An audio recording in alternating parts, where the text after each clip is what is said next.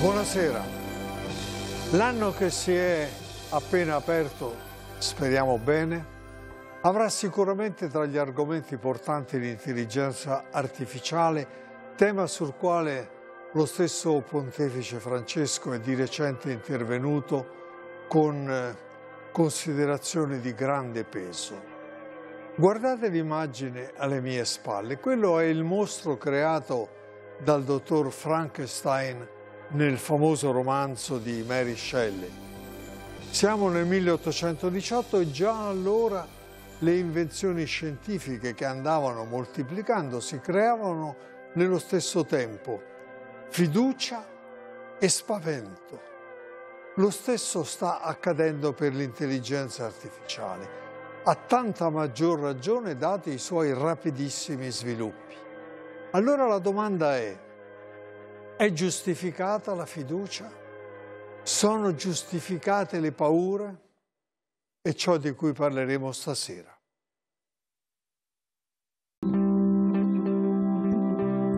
Professor Ferraris, buonasera. Buonasera. Gra grazie di essere qua e di aver accettato il nostro invito. Lei insegna filosofia a Torino e presiede l'istituto che ha un nome glorioso, Scienza Nuova, eh, dove l'Università e il Politecnico di Torino si sono messi insieme per studiare congiuntamente proprio l'argomento di cui parleremo stasera. Vorrei che la nostra conversazione cominciasse mostrandole a lei e ai gentili spettatori quello che il nostro Riccardo Luna ha scoperto andando a visitare e a girare all'Istituto di Italiano di Tecnologia di Genova, dove stanno elaborando, è uno degli istituti d'avanguardia, diciamo, del nostro paese ed europei. E una delle cose che ha scoperto, tra le tante, alcune ne mostreremo, è questa che ci mostra il filmato.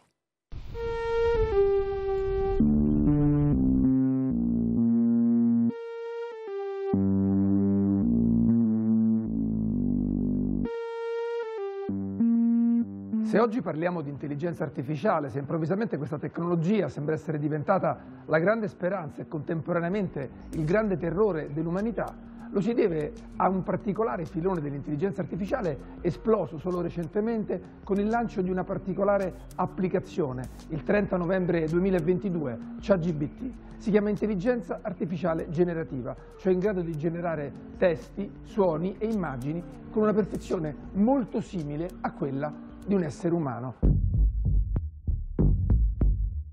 L'intelligenza artificiale poi è molto presente da tempo nelle, nelle, guerre purtroppo, anche con effetti ovviamente letali. Proprio qualche giorno prima dell'inizio delle ostilità, lo scorso 7 ottobre, le forze armate israeliane avevano ricevuto un velivolo che non si era mai visto prima, si chiama The Oron ed è una specie di aereo spia dotato di sensori e in grado di raccogliere informazioni in qualunque condizione meteorologica e grazie all'intelligenza artificiale trasforma queste informazioni in tempi rapidissimi in obiettivi da colpire.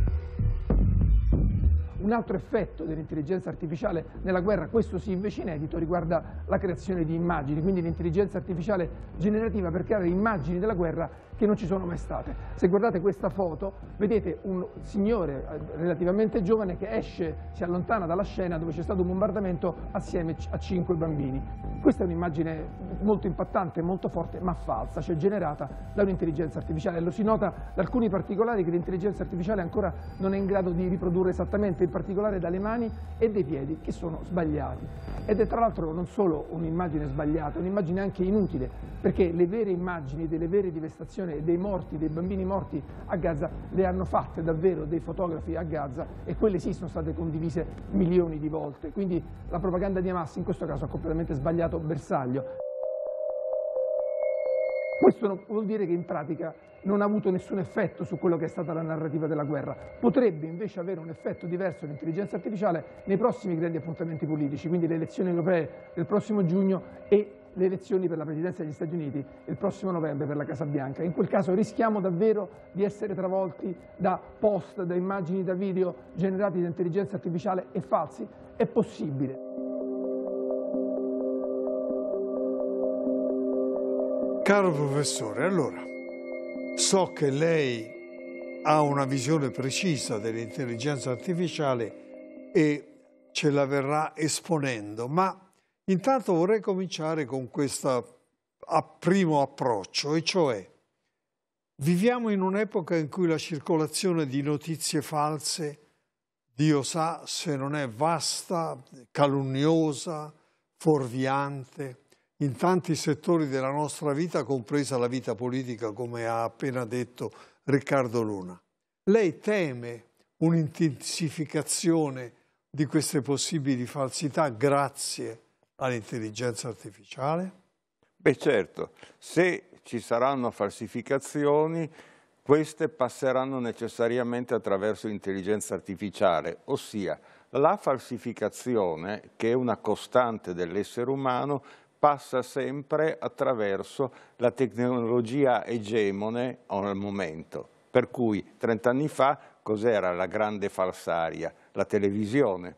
Eh, Cent'anni fa quali erano i grandi falsari? I giornali, pensiamo a Balzac e a cosa non ti racconta sui giornali fino, tornando indietro, il grande falsario è la scrittura. Platone raccomanda attenzione, la scrittura può raccontare delle cose false, quindi con questo non voglio minimamente dire che l'intelligenza artificiale non sarà usata in modo maligno. Sicuramente l'intelligenza artificiale sarà usata in modo maligno, così come sarà usata in modo benigno, ma questo dipende dagli esseri umani che la adopereranno. Cioè lei dice l'intelligenza artificiale è uno strumento neutrale. Io posso usare questa penna per scrivere delle note sul copione oppure per filarla nella pancia di, di uno che mi è antipatico. Questa non è colpa sua, è colpa mia. Però le faccio presente una cosa, l'intelligenza artificiale, lo dico da profano, leggo, tra l'altro ho letto anche il suo recente intervento sul Corriere della Sera lucidissimo. L'intelligenza artificiale ha una capacità generativa che questa penna o una lama di coltello non ha. È lì forse che si annida il maggior pericolo, o sbaglio? Sì, sì, indubbiamente quando uno dice c'è una continuità, perché indubbiamente c'è una continuità tra un bastone e un telefonino, eh, dice sono strumenti tutti e due, tutti e due hanno amplificato le possibilità dell'umano, solo che il modo in cui il telefonino amplifica le possibilità dell'umano è enormemente più grande che il bastone. Questo vale anche per la questione dell'intelligenza generativa, cioè il fatto di essere generativa rende enormemente più potente e più efficace l'azione dello de, dello strumento. Però all'origine tutto quello che gira dentro a quello strumento sono tutte cose umane, sono chiacchiere umane, sono detti umani, sono dicerie umane non troveremo mai niente che non abbia alla propria origine l'umano dentro l'intelligenza artificiale. Basti dire che l'intelligenza artificiale, quelli di ChatGPT, devono sempre difendersi dalle accuse dei giornali di prendere notizie da loro, perché in fondo là dove si nutre è il giornale. E il giornale chi lo scrive? Gli umani. Adesso anche delle macchine, ma su istruzioni di umani. Quindi all'origine c'è sempre l'umano. Eh, purtroppo. Purtroppo sì, sì. non possiamo neanche dire che il mostro di cattiveria è venuto giù dal cielo, no, no, siamo noi, siamo proprio noi. Sì, tra l'altro mi veniva in mente, ha ragione a dire che le notizie false sono sempre circolate, eh, penso per esempio alla falsa donazione di Costantino, tanto per dire, oppure Napoleone che quando va in Egitto fabbrica con le sue reportage una falsa campagna d'Egitto, eccetera, eccetera. Insomma, le, le, le false notizie ci sono sempre state, ma, ripeto, la densità e la frequenza e la velocità della loro diffusione è in sé un pericolo aggiuntivo. Sbaglio? Sicuramente è un pericolo aggiuntivo, sicuramente è quella cosa famosa che aveva detto Umberto Eco, proprio pochi, pochi mesi prima di morire, aveva fatto notare che eh, le, le, cose che si dicono al bar scompaiono il giorno dopo, non lasciano tracce, eccetera, mentre le cose che si scrivono su internet continuano a circolare e quindi trasformano lo spazio della comunicazione in un posto dove vince l'imbecille di turno. Non c'è dubbio Sicuramente c'è questo, questo, lato, però con questo noi nascondiamo anche un altro lato, cioè la quantità di informazioni utili, vere, ne affidabili parliamo. che si possono trovare sopra il web. Volevo, volevo sollecitare le paure, le inquietudini, sì. che le dico la verità, in parte sono quelle che io condivido, ma questo si vorrebbe dire niente. Il primo novembre c'è stato nel, nel, leggendario Bletchley Park in, in Gran Bretagna, che è quello dove Turing decifrò la macchina cran cran cran, enigma, de, de, la macchina codificatrice nazista. C'è stata una riunione dove tutti, Cina compresa, hanno condiviso questa cosa che abbiamo messo sinteticamente sul muro. Come vede, le inquietudini circolano, anche se lei mi sembra tendenzialmente rassicurante. Io non voglio essere rassicurante, intendiamoci. C'è un pericolo molto forte dell'intelligenza artificiale, ma questo pericolo non ricade sull'intelligenza bensì sugli utenti, cioè sugli umani. Mi spiego. Eh, che ci siano delle nazioni che si riuniscono e fanno una dichiarazione dicendo cerchiamo di limitare. Ricorda un, un altro scenario, cioè le nazioni che si riuniscono e dicono dobbiamo controllare l'arma nucleare. È un'arma terribile, è un'arma potentissima, quindi a questo punto l'arma nucleare è stata controllata dal fatto che c'erano molte nazioni solo poche tra esse avevano l'arma, si conoscevano, era necessaria una grande tecnologia per produrla, non ti puoi fare una bomba atomica in casa, mentre il grande rischio dell'intelligenza artificiale è che tu disponi di una tecnologia molto facile da acquisire, molto amica dell'utente, nel senso che si può non essere granché esperti e fare dei pasticci con l'intelligenza artificiale e nel momento in cui gli umani sono quasi 9 miliardi, possiamo escludere che ci sia una fetta di questi 9 miliardi di nostri simili che fa delle azioni non commendevoli, diciamo così. Direi eh, che è altamente probabile che ci saranno degli usi malevoli, quindi, come dire, quello che mi fa paura, il, il pericolo, eh, non è eh, sa la storia della singolarità, quando si dice verrà un cervello che sarà più potente degli umani e ci renderà tutti quanti schiavi e quest'epoca la chiamiamo della singolarità. Io non penso che verrà mai questo momento per un motivo banale, cioè che per volere il potere, per voler comandare, bisogna essere degli organismi. Le macchine non vogliono comandare e non vogliono ubbidire, le macchine eseguono semplicemente senza neanche sapere di eseguire dei compiti. Il vero pericolo, la vera cosa di cui dobbiamo guardarci è la moltitudine, cioè la quantità enorme di utenti che potranno adoperare questi strumenti. E un po' lo vediamo già adesso con il web. In fondo le campagne, la polarizzazione delle opinioni, la strage mediatica che talvolta viene fatta, eh, il fatto che ci siano delle persone trattate malissimo sul web da altre persone, tutto questo è come dire una primizia, un annuncio di quello che verrà più avanti quando eh, ci sarà un'intelligenza artificiale generativa a disposizione dell'intera umanità. Lei ha detto le macchine che eseguono senza sapere. Per ora. C'era già un annuncio di questo nel film Odissea nello spazio, dove il computer, non mi ricordo come si chiamava quello. HAL. HAL, dove quello questionava col comandante dell'astronave eh, opponendosi a certe decisioni. Adesso però vorrei che vedessimo un altro intervento di Riccardo Luna.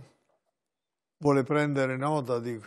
Una cosa che dovevo dirle e che però me lo segno così. Se lo segno, certo, eh. così no. E questo è un computer, cioè da notare, non dimentichiamo che questo è un protocomputer, cioè una macchina su cui segnandomi una cosa fa delle cose che naturalmente io non potrei fare, quindi col computer viviamo da tanto tempo. È fantastico quello che le, la fiducia che lei pone negli strumenti. È un po' come se dicesse è strepitosa la sua stupidità o la sua ingenuità, ma comunque gliela passo. No, ma per, cari ma per carità, non lo sarei mai. Lei è una delle menti illuminate di questo paese. Mi diverte. Adesso però vediamo Riccardo Luna.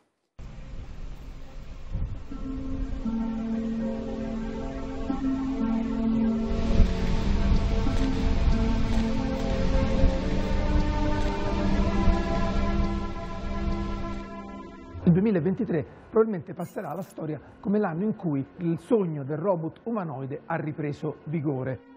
Dice Giorgio Metta, che è il direttore scientifico dell'Istituto Italiano di Tecnologia che ci ospita, che il 2023 sarà ricordato come l'anno in cui abbiamo smesso di chiederci se un giorno i robot umanoidi faranno parte o no della nostra vita, per invece chiederci quando faranno parte della nostra vita e per svolgere quali compiti. Intendiamoci, di robot nel mondo ce ne sono in azione milioni, soprattutto nelle fabbriche, ma stanno ben lontani dagli esseri umani. Spesso hanno della forma di cilindri con delle rotelle se devono spostarsi o sono dei bracci robotici. Il sogno del robot umanoide è un'altra cosa e ha radici molto più lontane. Andiamo addirittura a Leonardo da Vinci che nel 1495 immaginò per la prima volta un automa cavaliere.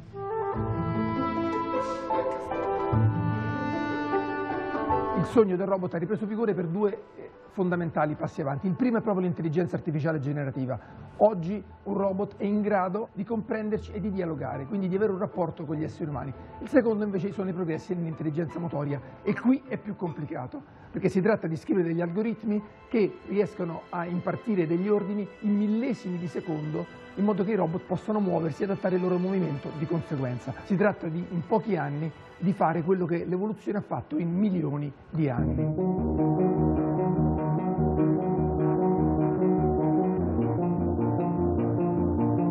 Quale scopo? Ecco, lo scopo che più utile per i robot umanoidi probabilmente è proprio quello di stare nelle fabbriche, di alleviare il lavoro pesante, ripetitivo, faticoso e a volte pericoloso. Come è un esempio evidente la collaborazione fra l'INAIL e l'Istituto Italiano di Tecnologia per un robot che si chiama ErgoCap che ha proprio questa destinazione, un giorno nelle fabbriche evitare diciamo, gli incidenti sul lavoro e prendersene carico direttamente.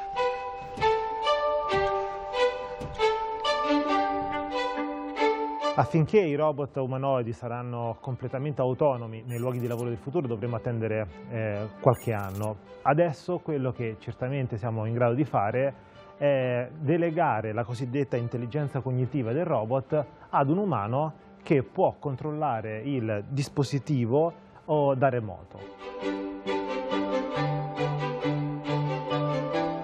Questa tuta abilitata dall'intelligenza artificiale ci permette di far sì che il robot copi esattamente i movimenti dell'operatore e questo è di fondamentale importanza. Possiamo immaginare ad esempio eh, un luogo pericoloso come eh, una centrale nucleare. Ecco che l'operatore può rimanere al sicuro in un luogo ben protetto mentre eh, il dispositivo che è esposto al pericolo per l'appunto è il robot, ma che viene teleguidato da remoto.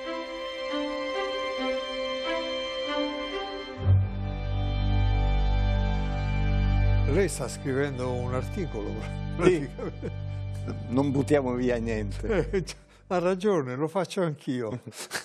Senta, adesso questo che abbiamo visto sono dei robot che tra qualche anno sembreranno archeologia, così come abbiamo in tasca dei, degli affari che chiamiamo telefoni, ma in realtà sono dei computer onniscienti e quelli che avevamo vent'anni fa con l'antenna sono diventati... Ho letto questa cosa, i robot sviluppati tra, qual, tra poco tempo, per esempio negli ospedali, sostituiranno gli infermieri in alcune incombenze come entrare nella stanza del paziente, fare l'iniezione endovenosa, mettere una flebo, dare la pasticca giusta all'ora giusta. Ora, siccome noi sappiamo che tra un degente e chi lo cura, medico o infermiere, si sviluppa un rapporto non professionale ma affettivo, la domanda che in questo saggio si poneva era è possibile che un rapporto affettivo si sviluppi tra il paziente e la macchina che gli dà. Questo sarebbe, se fosse, un, una novità, diciamo pure sconvolgente, o no? Ma davvero una novità. Pensi questo luogo comune di tanta letteratura. Guardò la spada che lo aveva accompagnato in tante battaglie. Posso chiederle, siccome il tema è densissimo e vorrei che lo sviluppassimo, subito dopo questa breve interruzione? Certo.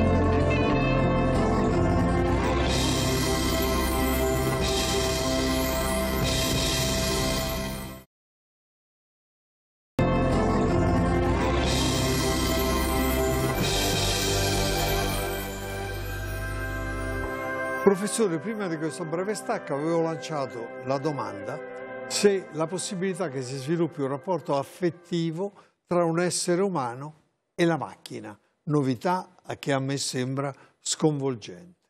Ma davvero una novità, nel senso posso fare un caso del tutto particolare. Eh, eh, a un certo punto eh, bisognava cambiare automobile quando mio figlio era molto piccolo e mio figlio soffriva perché cambiava l'automobile, in fondo aveva umanizzato, animizzato, abbiamo sempre un rapporto animistico con le cose, per cui quando si dice il vecchio scarpone della canzone oppure tutte queste cose, ci si riferisce continuamente a degli attrezzi a cui, su cui noi proiettiamo dei sentimenti umani. Questa è una cosa che possono fare soltanto gli umani, quindi certo succederà quello. Io fra l'altro nel caso specifico trovo molto utile che ci siano de delle funzioni di cura che vengono svolte da delle macchine per dare più tempo agli umani a dare quelle tipiche funzioni di cura che solo un umano può dare, cioè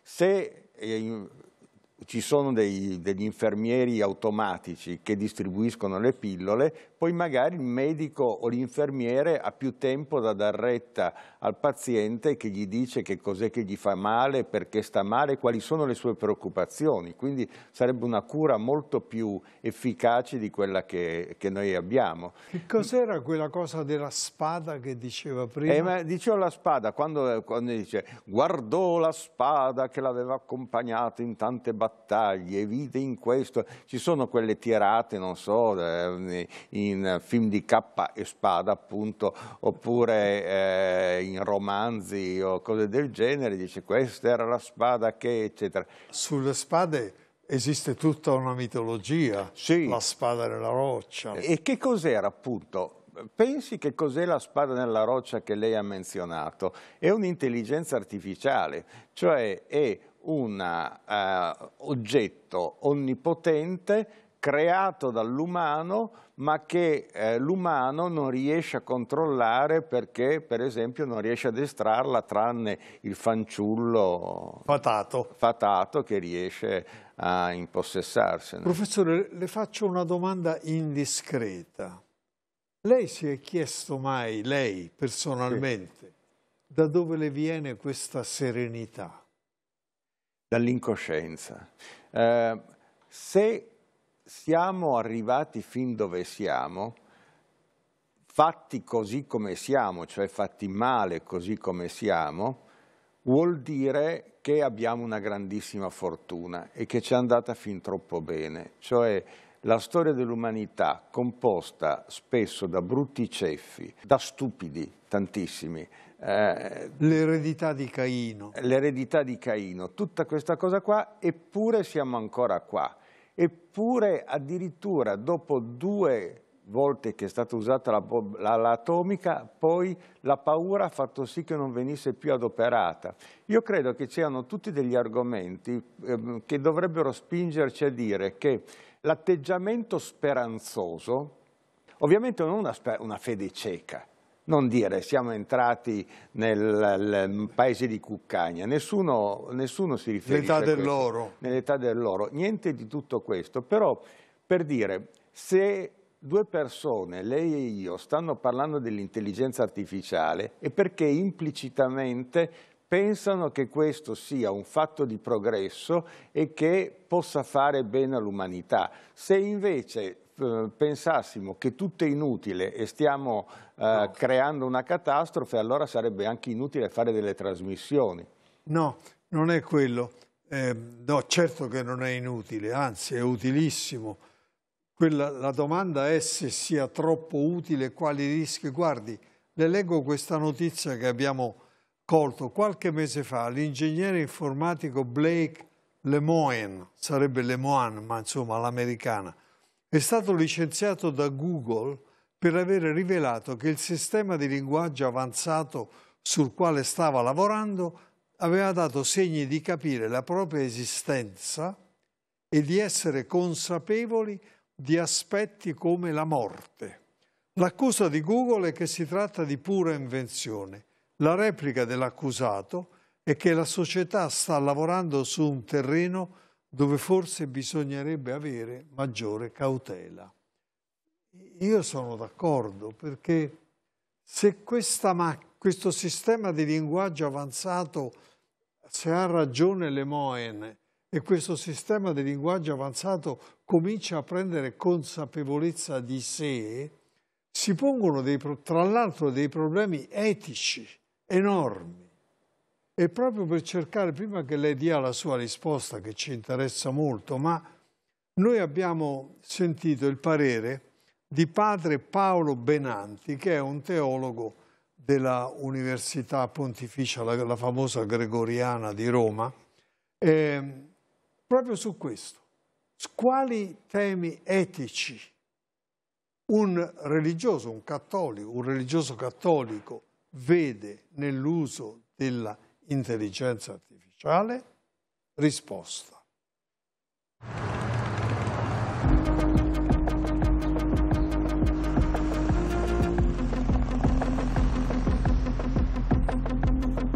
Oggi quando apro il mio telefonino e chiedo a uno di questi software di navigazione di ultima generazione quanto ci metterò ad andare da qualche parte, mi dice anche il traffico, mi consente di gestire e controllare le cose che mi accadono con una sufficiente certezza.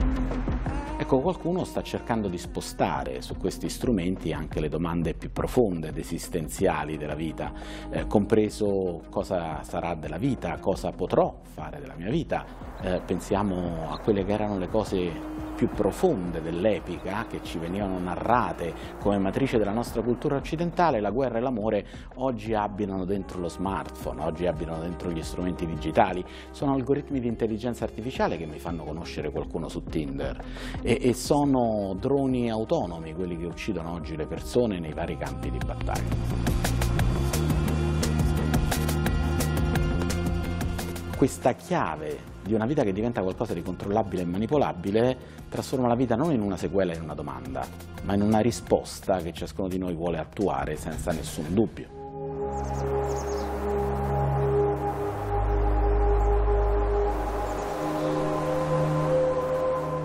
Eraclito, uno dei primi filosofi che conosciamo, commenta che il dio che è in Delfi, l'oracolo, non parla e non tace ma significa. Ecco, Eraclito è consapevole che nel cuore dell'uomo a un certo punto si può instaurare una forma di pensiero che possiamo definire magico, un qualcosa che vuole controllare la realtà e si fida di apparenti significati che si vedono nella realtà ma che non sono connessi a quelli che realmente sono i fatti.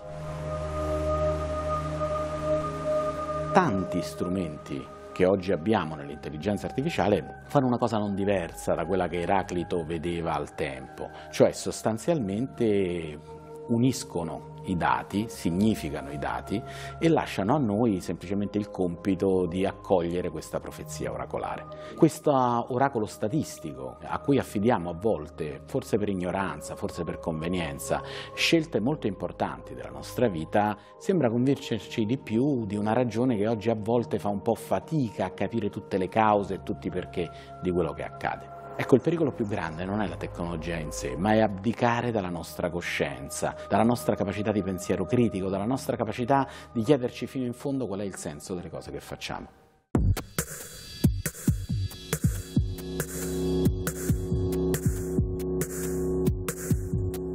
Volendo provocare un'intelligenza artificiale qualche anno fa, un sistema che all'epoca sembrava molto evoluto, ho chiesto a questo sistema, ma se io volessi togliere il cancro dalla faccia della Terra, che cosa possiamo fare? E la prima risposta che mi ha dato la macchina è stata uccidiamo tutti gli uomini. Evidentemente non avremmo avuto più cancro, ma quella soluzione era accettabile. Ecco che quindi oggi la riflessione etica torna a farsi forte, a chiedersi eh, se possiamo lasciare le macchine agire senza che noi diciamo qualcosa. Ma come fare questo in un'epoca in cui la normatività è così in crisi? Saremo in grado di trovare una legge o una norma che va bene a tutti gli italiani? O che va bene a tutti gli europei? O che va bene a tutti i paesi del mondo con le differenti culture?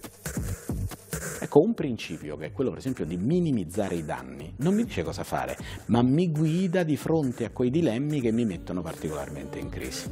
Abbiamo bisogno di questi principi, abbiamo bisogno di iniettare questi criteri all'interno dell'algoritmo. Le macchine lavorano per algoritmi, l'uomo pensa all'etica, ecco che abbiamo bisogno quindi di un'algoretica, un'etica fatta dall'uomo ma eseguita dalle macchine.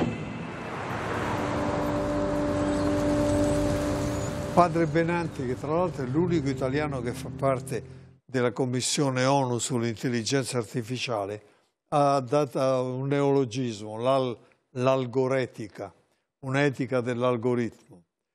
Questo mi fa venire in mente che l'Unione Europea ha approvato un progetto di legge europeo dove per la prima volta vengono stabilite dei divieti e delle garanzie, per esempio vietare le applicazioni che rappresentino un rischio inaccettabile per la sicurezza delle persone, come la polizia predittiva, cosa spaventosa, sembra di leggere uno di quei romanzi distopici. Sono strumenti che profilano le persone per prevedere la possibilità di comportamenti criminali, oppure eh, vietato l'uso del riconoscimento delle emozioni nei luoghi di lavoro oppure vietata l'identificazione biometrica, cioè io cammino per la strada e un, un, una telecamera mi inquadra e memorizza il mio viso, lo mette in un magazzino, non si sa mai, insomma tutta quella roba là. Queste sono cautele che doveroso prendere, ma indicano a loro volta il timore che circonda questa novità.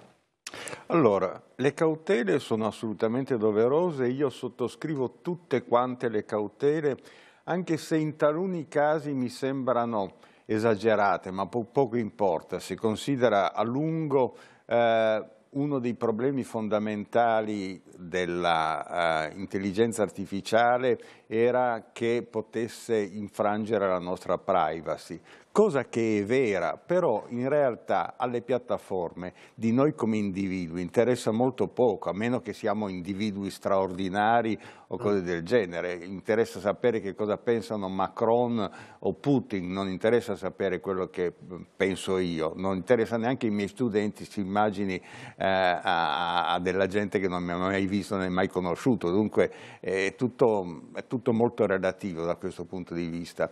Il, eh, il punto, secondo me, è che non dobbiamo limitarci a, eh, come cittadini, come società civile, come società politica, a rapportarci al web come un terreno soltanto da regolamentare, perché allora a questo punto invece ci saranno organizzazioni private che invece trarranno tutto il vantaggio del web. È quello che succede adesso, cioè le piattaforme fanno i miliardi con eh, il web e eh, l'Unione Europea passa il suo tempo a normare. Io, visto che il padre Benanti ha introdotto il neologismo algoretica, ho introdotto nel mio piccolo anch'io un neologismo, cioè il webfare il welfare digitale in questo senso che visto che ognuno di noi in qualunque momento, anche in questo momento, lei e io e tutti quelli che ci stanno attorno, stanno producendo dei dati, questi dati sono un valore. Oltretutto c'è una legge europea che permette di farsi ridare i dati eh, eh, questi dati possono essere messi tutti assieme in composizioni diverse, per esempio una banca può fare questo, oppure una ASL può fare questo, creare un nuovo valore e ridistribuirlo sul territorio, per esempio dando sostegno alle persone, alle tante persone che perderanno il lavoro a causa del web. Questa è una cosa che si può fare per inciso, eh, scienza nuova che lei ha menzionato all'inizio, stiamo lavorando in questa direzione, perché è giustissimo avere un atteggiamento precauzionale nei confronti di, di qualunque cosa, compresa l'aspirina, ma è altrettanto giusto e doveroso, e su questo ci si pensa di meno, avere un atteggiamento che sia affermativo, produttivo, che generi eh, qualcosa di buono da, dalla tecnica. A, parte i complimenti per il titolo che avete dato alla vostra associazione, istituto Scienza Nuova, cioè vi siete rifatti a un classico per lanciarlo verso l'avvenire. Lei ha detto prima, eh, non interessa quello che io so, i dati che mi riguardano o riguardano delle persone comuni come lei, me, molti di quelli che ci, che ci assistono e che ci guardano attraverso la TV. Non è vero, perché, cioè è vero fino a un certo punto, perché per esempio quando scoppiò un paio d'anni fa il famoso scandalo di Cambridge Analytica, che era ancora ante intelligenza artificiale, già lì si venne a sapere che tutti i dati che noi continuamente immettiamo involontariamente in circolazione, per il semplice fatto di aprire il telefonino e di cercare un indirizzo o un materasso o una scatoletta di cibo per cani, noi mettiamo, questi dati vengono presi e catalogati e noi siamo catalogati con quei dati.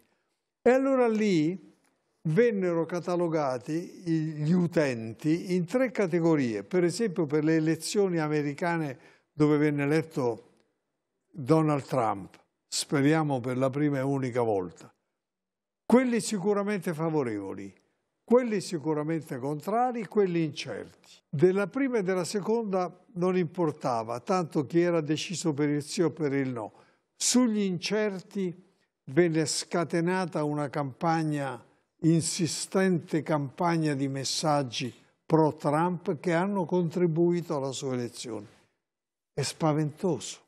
Questo è spaventoso, però appunto eh, dare all'intelligenza artificiale la colpa delle elezioni di Trump è come dare alla radio la colpa delle elezioni di Hitler, perché in fondo Hitler si è promosso. manifestato, promosso moltissimo attraverso la radio e pare che poi la voce facesse un effetto strepitoso sulle folle, risultato tanti incerti a un certo punto nel 1933 hanno votato per il nazismo. Quello che è interessante in questo è quello che continuamente avviene nella nostra conversazione e in tutte le conversazioni di coloro che parlano di intelligenza artificiale è che eh, si passa continuamente su piani differenti. Per esempio, il piano su cui lei è passato adesso per fare il caso di Cambridge Analytica è il piano della persuasione politica e uno si chiede Cosa c'è di intelligente artificiale in tutto questo? No, c'è semplicemente la capacità di registrare, di calcolare e poi di subordinare a delle volontà e degli intenti umani degli strumenti eh, delle macchine.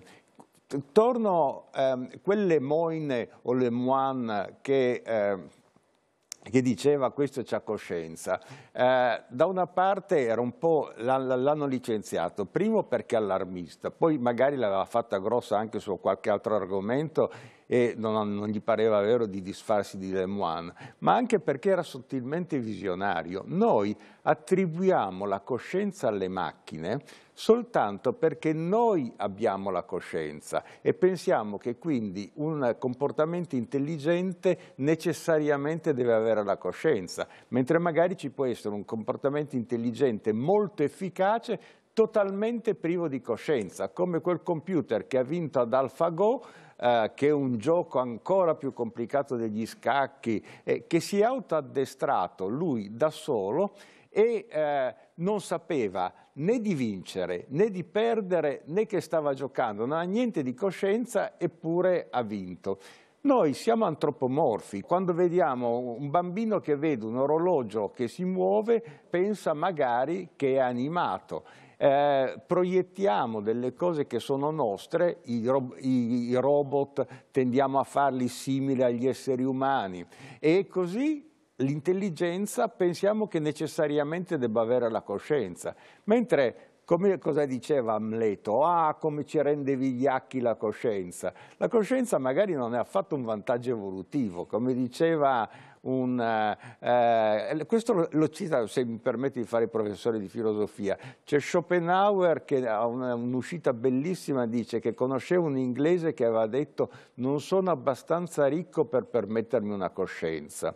Eh, effettivamente la coscienza è un sovrappiù che eh, rende inefficienti i comportamenti, rende inefficienti le persone, non ci rende degli automi perfetti, gli automi coscienti sarebbero degli automi imperfetti e nessuno di noi ha intenzione di avere degli automi imperfetti, ci siamo già noi a fare gli imperfetti. Beh, la ringrazio di questa lezione, ma lei ha disegnato in questa esposizione esemplare, complimenti, un confine che possiamo riassumere così. La consapevolezza di sé, cioè la mente. La, che cos'è, eh, detto da un, intendiamoci, un povero uomo della strada, quale io sono? La mente è quel complesso di nozioni e consapevolezza che ci permette di dire cogito ergo sum, tanto per ricorrere a una formula famosa. Lei ha detto le macchine non avranno mai la consapevolezza di sé. Saremo sempre noi esseri umani a insufflargliela. Non lo so, perché veda, professore, la mia idea, e sto anche un po' sostenendo una parte, intendiamoci, eh, per eh, animare la, la dialettica. La mia idea è che un aumento smisurato di potenza può significare una differenza di qualità e avvicinarsi alla mente. Ma questo appunto è un, è un, tema, è un incubo che ci poniamo in tanti, però io su questo come al solito sono molto fiducioso per un motivo banale che il possesso... Mi piace ogni tanto viene fuori una cadenza piemontese. Ah beh, so, so, eh, eh, se, se, venisse fuori una, una cadenza tirolese mi, mi stupirebbe. sì, scusi, scusi se no è carino. Scusi, sono, sono un po' macario. L'ho interrotto. No, no, si figuri. stupidamente. No, no, giustamente perché eh, noi piemontesi ci vergogniamo tutti molto della nostra cadenza, siamo diversi dai veneziani o dai napoletani che invece sono fieri. Comunque, eh, il, ehm, quello che noi attribuiamo, per esempio, appunto alla coscienza, la coscienza in realtà magari non è una cosa qualitativamente così importante, magari una scocciatura. Eh, noi pensiamo che sia la quintessenza delle virtù perché noi possediamo la coscienza e magari ci chiediamo se poi ci sono degli animali superiori, la prima cosa che cominciamo a chiedere è ma avrà la coscienza? Ci facciamo tutte queste... La verità è che mentre sono persuaso che un animale superiore o il mio gatto abbia qualcosa come la coscienza, nel senso che eh, ha un corpo e questo corpo gli trasmette delle eh, sensazioni e queste sensazioni lo portano a reagire, a, a desiderare, a temere. Tutto questo dipende essenzialmente dal fatto di avere un corpo, cioè eh, quello che noi consideriamo come comportamento cosciente, il più delle volte è semplicemente il eh, fatto che la nostra intelligenza artificiale, perché c'è tanta intelligenza artificiale dentro il nostro cervello, passiamo il tempo a leggere, a studiare, eh, è inserita all'interno di un organismo naturale. L'organismo naturale ha dei bisogni, dei desideri, delle urgenze e poi muore e lo sa. E tutto questo genera quello che noi chiamiamo coscienza. Poi c'è un test eh, banalissimo, guardi questo. Vede, questo qua è acqua. L'acqua fa molto bene agli organismi, gli organismi hanno un enorme bisogno di acqua e fa molto male ai meccanismi, se noi lo rovesciamo su un telefonino quello eh, eh, va, muore. in tilt, muore appunto, ma quando il telefonino muore non muore per davvero, no? quando si dice mi è morto il telefonino non è come si dice mi è morto mio nonno, perché mi è morto il telefonino dice portalo dal cinese a riparare, mi è morto mio nonno portarlo dal cinese a riparare non è che abbia no. tanto senso, perché purtroppo le cose che riguardano l'umanità hanno la caratteristica, e, e, gli organismi in generale hanno caratteristiche di avere dei processi irreversibili, mentre le macchine hanno processi sempre reversibili. Questo è molto convincente. Noi irreversibili, noi partiamo da dall'alfa, per meglio dire, per andare all'omega, ben sappiamo che cosa voglia dire, le macchine no, le macchine possono tornare indietro, tutte le macchine, anche quelle più rudimentali come un'automobile, gli cambi qualche pezzo e continua a, ca a camminare. La ringrazio, questo mi, questo mi illumina. Noi abbiamo, io l'ho cercato di attirarla sugli aspetti negativi, possibili pericoli, allarmi, paure che l'intelligenza artificiale può suscitare. Ma ci sono anche, e il nostro Riccardo Luna, andando all'Istituto Italiano di Tecnologia di Genova, li ha scoperti, ci sono anche aspetti che già oggi appaiono decisamente positivi.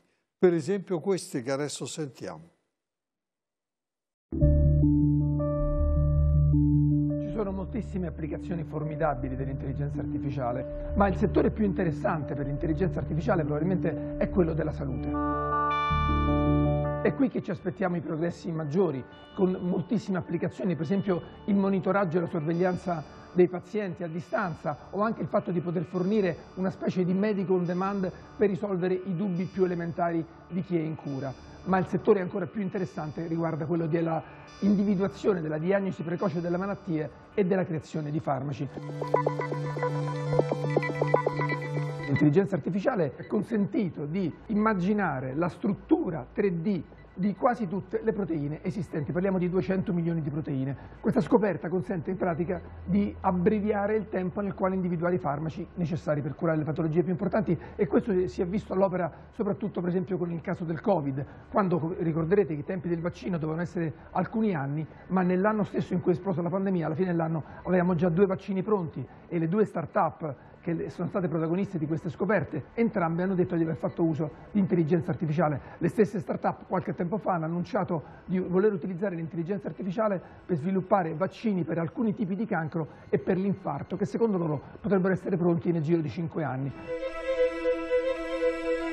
Parliamo quindi di un approccio computazionale, uno strumento che abbiamo per analizzare dati. Questo è fatto ad esempio in una startup dell'IT, Yama Therapeutics, che usa l'intelligenza artificiale per comprendere in dettaglio come la proteina bersaglio, cioè la proteina su cui il futuro farmaco agisce, reagisce all'azione del farmaco. Questo significa che potremo arrivare a scoprire cure per malattie che ancora oggi non possiamo curare in, in tempi più rapidi, prima di quanto avremmo fatto altrimenti, perché stiamo accelerando la ricerca, stiamo accelerando l'avanzamento scientifico.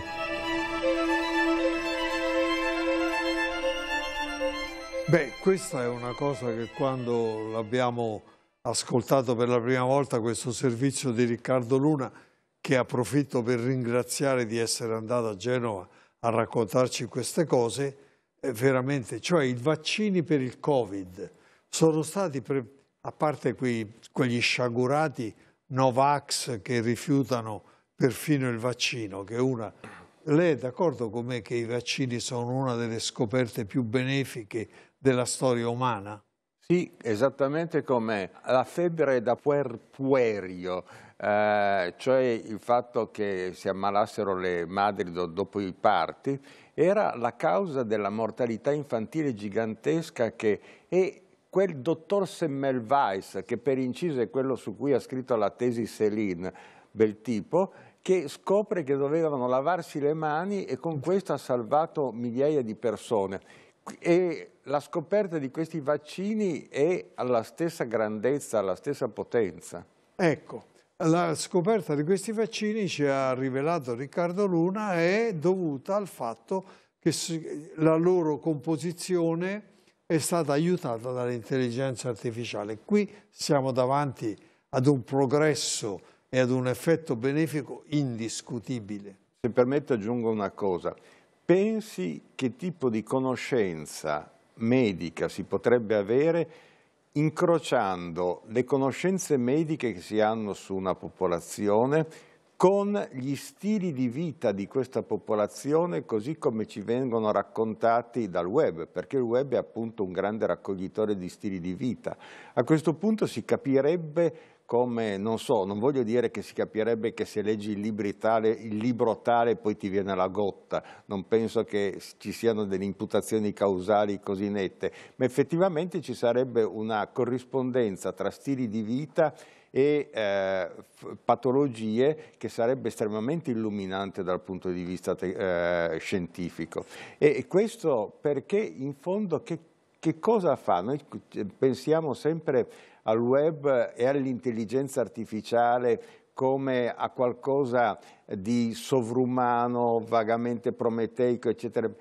E la catalogazione, la registrazione e la rimessa in onda delle forme di vita umana. Professore, non le dico quale consolazione mi ha dato parlare con lei e provocarla un po' in maniera, per carità, rispettosa e affettuosa, vorrei dire perché lei ha risposto su tutte quelle poche obiezioni che mi sono venute in mente, forse ce ne saranno altre, però ha risposto non soltanto in maniera convincente, ma ha risposto con la tranquillità, ecco, de tranquillitate animi, no? C'è quel famoso saggio, mi veniva in mente. E di questo veramente la devo ringraziare. Invito i suoi studenti. Guardi, non so se siano invidiabili i miei studenti, ma la ringrazio del tempo e dell'attenzione che ho voluto concedermi adesso. Ah, grazie, eh, speriamo di poterci rincontrare qui o altrove, mentre io lancio questo servizio è affidato a Chiara Valerio su un tema che non riguarda direttamente lei, cioè tutto riguarda lei perché il filosofo, tutto quello che è umano lo riguarda. Grazie professore e arrivederla presto. Grazie, arrivederla.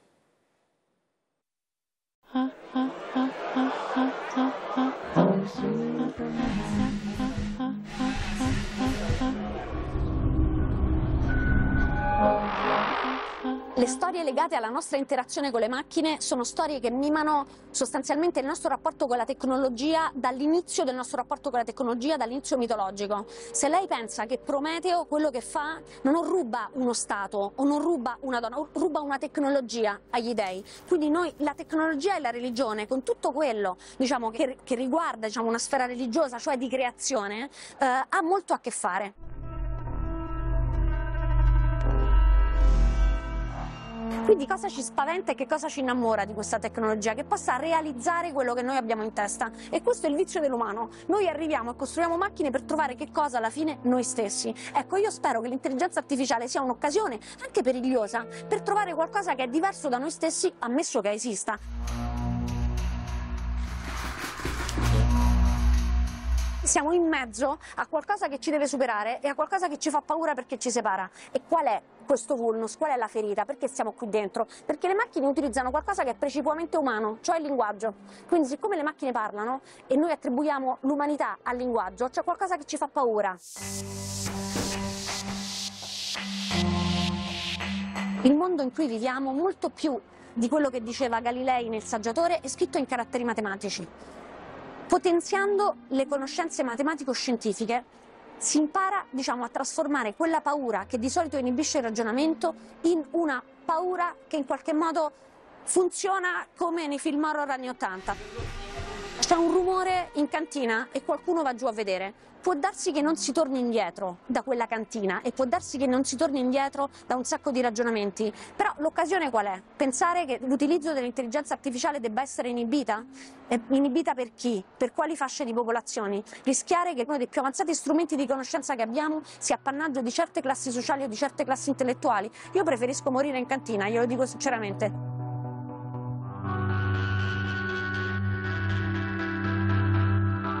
Il tema dell'intelligenza artificiale e del lavoro è un tema appassionante ma che riguarda che cos'è l'intelligenza artificiale e che quindi cozza in qualche modo con l'idea che sia eh, un modo per mimare e trasformare e deprivare l'umano. Se penso alla macchina a vapore quando si diceva avrebbe tolto lavoro, sì ok, però avrebbe dato tempo perché le persone studiassero.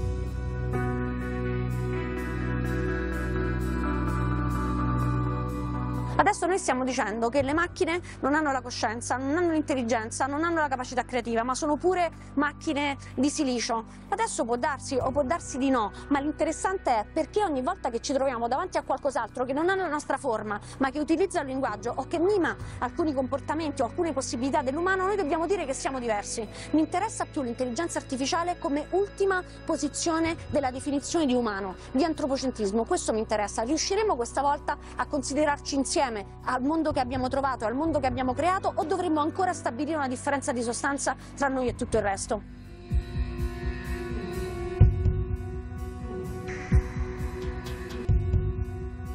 Dottor Cotarelli, grazie di averci raggiunto in questo studio, è un grande piacere. È un grande piacere aumentato, devo dire, oltre che della sua bella presenza, eh, da, dalla presenza di questo suo libro. Le dico la verità, noi qui non è che presentiamo i libri come una vetrina, presentiamo i libri perché quando ci incuriosiscono, e questo devo dirle la verità, mi ha molto incuriosito, soprattutto lei mi perdonerà, nel capitolo, nella parte ampia peraltro che lei dedica proprio all'intelligenza artificiale. Lei è un economista, insegna alla Cattolica. All'Università Cattolica. All'Università Cattolica Insomma, è stato un uomo politico anche. È ancora tentato dalla politica? Al momento no, però mai dire mai nella vita. Mai dire mai, cioè eh. questo vuol dire che se qualcuno la chiamasse ad un incarico di prestigio potrebbe mettersi al servizio della Repubblica, diciamo così. Allora, la prima domanda che, alla quale ha, ha risposto anche la nostra Chiara Valerio è L'intelligenza artificiale toglierà posti di lavoro o aumenterà o ne cambierà la qualità? Allora, quello che abbiamo visto nel corso della, della storia degli ultimi due secoli è che il progresso tecnico ha fatto uh, un po' tutte e due le cose, cioè uh, elimina certi lavori, altri lavori vengono creati, però un'altra cosa importante è successo, che si aumenta quella che noi chiamiamo, noi economisti chiamiamo la produttività, cioè quanto tu produci in un'ora di lavoro grazie alle macchine. Tu in parte questo aumento della produttività lo destini a produrre di più e in parte a lavorare di meno. Per questo l'orario lavorativo è eh, passato dal XIX secolo, 14-16 ore al giorno, Adesso si parla di meno di 8 ore al giorno perché appunto c'è stata la possibilità con il progresso tecnico di lavorare di meno. Il numero di persone che lavorano è continuato a crescere, fanno lavori diversi, però la sostituzione viene soprattutto nel fatto che si lavora di meno in una giornata e che è un fatto direi positivo. Senta, mi ha incuriosito in questo libro che fa delle considerazioni di macro e microeconomia, ma anche degli, con degli squarci personali, mi ha incuriosito questa descrizione che lei fa dell'inizio della sua giornata. Ah, sì.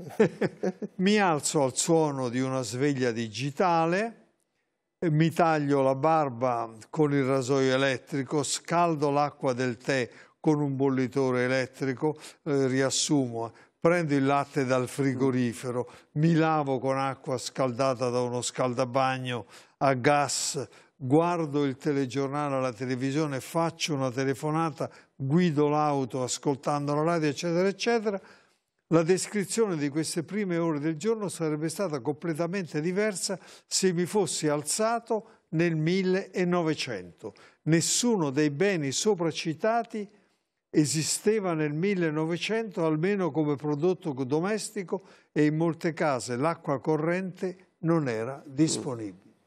Cioè noi in un secolo, diciamo, perché già nel 1970, come lei poi precisa, tutte queste cose c'erano, in pochi decenni noi abbiamo rivoluzionato le nostre vite. Mm, soltanto, sì. È così. Sì, soltanto che non siamo stati noi, sono stati i nostri nonni e i nostri bisnonni. Cioè la fase... Noi volevo dire genere umano. Il genere umano. Beh, ma è importante la distinzione, perché questo è il punto che faccio in questo, in questo capitolo di questo libro. La vera rivoluzione industriale, il vero salto nella produttività, cioè le macchine che sostituiscono l'uomo, è avvenuto a, a cavallo tra il XIX secolo e il XX secolo. Tutte quelle cose che lì ho elencato non esistevano per qualcuno nato nel 1890 Tutte queste cose invece esistevano già per chi è nato 40, io sono nato nel 54, quindi parecchio tempo fa, ma esistevano tutte queste cose 40 anni fa. Cosa vuol dire questo? Vuol dire che sulla base di queste indicazioni sembrerebbe che il progresso tecnico va, sia avanzi, ma a una velocità inferiore di quelle che i nostri nonni i nostri bisnonni hanno, hanno conosciuto. Difatti, difatti lei su questo Guardi, ci sono delle pagine illuminanti su questo, perché per esempio quando lei descrive, vengo su quello che lei ha appena detto, le, descrive le tre rivoluzioni. La prima rivoluzione tra la fine del 7 e l'inizio dell'Ottocento, motori a vapore, le ferrovie. La seconda rivoluzione tra l'Ottocentosetta e il Novecento, onde elettromagnetiche, il motore a combustione interna, cioè le, le macchine che vanno, a, be- le macchine vanno a benzina, eccetera. L'estensione delle reti, terza rivoluzione industriale, con la diffusione del computer e proseguita con i personal computer e l'intelligenza artificiale. Sì. Cioè, è, è, bellissima questa scalarità sì. delle rivoluzioni. Sì. E l'ultima, se ci basiamo sui dati appunto della produttività, ripeto, la produttività è quanto si produce in un'ora di lavoro. Se guardiamo alla crescita della produttività, non da noi in Italia che abbiamo avuto tanti problemi nell'ultimo quarto di secolo, ma nel paese più avanzato tecnologicamente, cioè gli Stati Uniti d'America, quello che vediamo è che la crescita della produttività, che è una buona indicazione della rapidità del progresso tecnologico, negli ultimi 25 anni è stata la più bassa degli ultimi due secoli negli Stati Uniti. Negli Stati Uniti.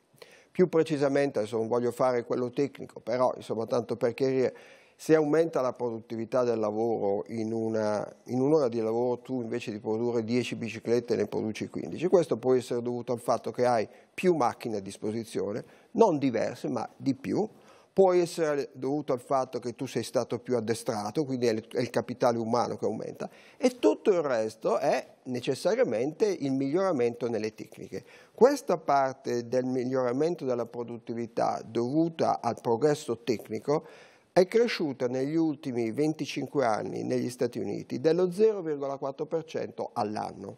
Nel periodo d'oro della crescita della produttività nel secolo scorso, tra il 1920 e il 1970, il tasso di crescita di questa produttività legata al, progresso tecnico era del 2% all'anno. Quindi dal 2% all'anno siamo passati allo 0,4, un quinto. È come se invece di guidare una macchina a 100 km all'ora stessimo andando a 20 km all'ora. Capisce? Fa una bella differenza. Secondo lei, lei ha citato dal 20 al 70, mezzo secolo, sì. la guerra ha influito? La produzione eh, di guerra? Questo, questo, è una cosa che è discussa, eh, sì però Facciamo un'altra considerazione. Le grandi rivoluzioni scientifiche degli ultimi secolo e mezzo sono state le onde elettromagnetiche di Maxwell, la eh, teoria della relatività, la meccanica quantistica. Non so nessuna di queste tre cose sono, sono state legate alla guerra. Poi le applicazioni forse sono state. Infatti questa è un'altra cosa che, che stupisce, insomma, eh, le, le maggiori rivoluzioni scientifiche sono avvenute più di un secolo fa. Meccanica quantistica ci ha messo un po' di tempo, ma anche il cosiddetto modello standard della meccanica quantistica è qualcosa ormai consolidato. Sì, adesso quello che si fa adesso è verificare che le predizioni di quel modello erano vere. Bosone di Higgs è stato teorizzato all'inizio degli anni 60, l'abbiamo trovato adesso, ma la rivoluzione scientifica purtroppo è avvenuta in passato e mi sembra che stiamo rallentando nell'andare avanti. Naturalmente questo non vuol dire che non ci saranno cambiamenti. Certo l'intelligenza artificiale e gli altri strumenti dell'information and communication technology, computer, eccetera, ICT. Esatto, questi fanno risparmiare lavoro, quindi il problema si pone, però si sta ponendo secondo me a una velocità che è inferiore eh, a quella che eh, abbiamo sperimentato per esempio nel secolo scorso. Lei dice tra l'altro una cosa che mi ha molto incuriosito, dice questo avanzamento rapido o meno rapido, ma insomma avanzamento, può sviluppare una certa pigrizia.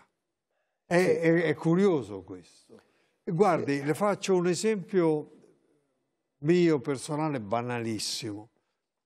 Eh, alle volte devo fare dei conti, delle cose. Allora, una volta si facevano a mente, adesso ho la macchinetta là e, e, mi viene la tentazione e la seguo, cedo, la faccio con la macchinetta, il che porta ad un impoverimento della mia velocità di calcoli elementari, intendiamoci, ma il conto della spesa, però è una forma di pigrizia.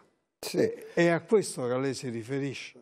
Beh, diciamo, ci sono diverse possibili spiegazioni, assumendo che io abbia ragione, cioè che c'è un rallentamento nel progresso. Beh, ma se lei cita delle io cifre... Cito... Allora, assumendo questo, eh, allora si, si, poss si, possono pensare a diverse spiegazioni di questo fenomeno. Una spiegazione che è stata avanzata è appunto che sì, eh, le macchine pensano di più, ma questo è compensato dal fatto che noi pensiamo di meno. È incerto se questo sia vero, ci sono alcuni studi che sostengono che sia vero, altri, studi, altri studi dicono che pensiamo meno per certe cose, però abbiamo più tempo per pensare ad altre cose. Quindi questo è un elemento, direi, incerto. Ci sono altre possibilità, magari stiamo, il progresso è inferiore al passato, semplicemente perché prima facevamo le cose relativamente facili, adesso diventa sempre più difficile inventare qualcosa di nuovo magari c'è qualcosa che non riusciremo mai a fare, un esempio per esempio la, la, fusione, la fusione, nucleare, speriamo si possa fare, speriamo sarebbe un grande vantaggio per l'umanità, avremmo trovato l'energia pulita. E se non è possibile farlo in natura non lo sappiamo, quindi magari stiamo arrivando a quella frontiera della conoscenza per cui andare avanti è sempre più difficile. Un'altra questione, posso citare anche quella, è il fatto che chi comincia da, a studiare da giovane adesso deve imparare sempre più cose per arrivare alla frontiera della conoscenza. Forse anche questo ha contribuito. Guardi, questo libro per tanti aspetti è illuminante. Un'altra delle osservazioni che avevo messo in evidenza, lei chiede, siamo sicuri che le ore che passiamo di fronte a un video interagendo sui social o giocando al videogame non abbiano un impatto negativo sulla nostra capacità di interagire in modo proficuo con altri esseri umani. Mm. Io sono convinto di questo. Mm. Sono convinto che la risposta a questa domanda è sì. C'è il rischio che i rapporti interpersonali inter... si rinsecchiscano. Lo vedo nel linguaggio anche, nella forma sì. di scrittura scheletrica. Sì, io vedo anche, devo dire un'altra cosa, mm, io essendo, frequentando un ambiente universitario ho a che fare con giovani, mi sembra che sempre di più in realtà ci sia una qualche difficoltà nel comunicare oralmente, parlare al telefono. La tendenza, mi sembra, dei giovani, ho letto venendo qui fra l'altro